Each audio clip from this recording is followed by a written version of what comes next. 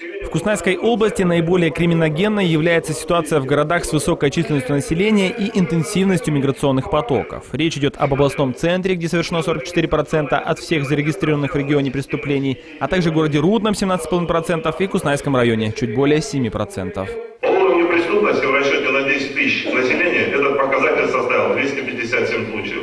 Кустанайская область по-прежнему входит в тройку лидеров и занимает третье место после городов республиканского значения опережая регионы относительно схожие по численности населения, такие как Актюбинская, Павлодарская, Кызылординская области. Рассказал Миркан Тургаев и о том, что в Куснайской области в 2015 году наблюдался рост подростковой преступности на 18%. Тургаев считает, что одним из факторов, повлиявшим на такую статистику, является отсутствие специального детского учреждения для временного содержания несовершеннолетних преступников в период предварительного следствия. Применение меры пресечения в виде отдачи под присмотр родителей зачастую обуславливает совершение повторных у нас преступлений.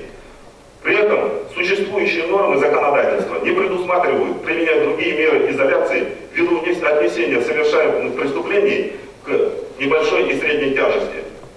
К примеру, в городе Кустаная в период предварительного следствия в отношении группы подростков ими же совершено было более 50 повторных преступлений, связанных с угонами автотранспорта и хищениями чужого имущества. Вместе с тем, отметили в ДВД, если по республике сохраняется тенденция роста краж на 0,8%, то в Кустанайской области наблюдается снижение количества зарегистрированных краж почти на 12,5%.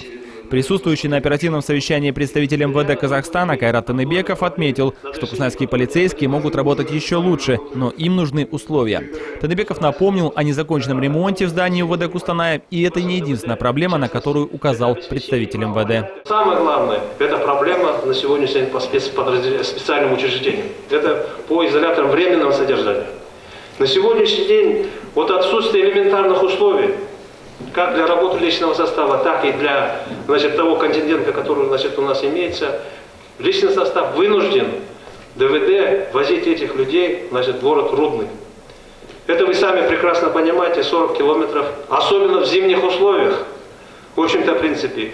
И, значит, все моменты мы еще зависим от погодных условий. На оперативном совещании также было отмечено, что в прошлом году сотрудники полиции в Куснайской области 34 раза приступили закон. По всем этим фактам были возбуждены уголовные дела.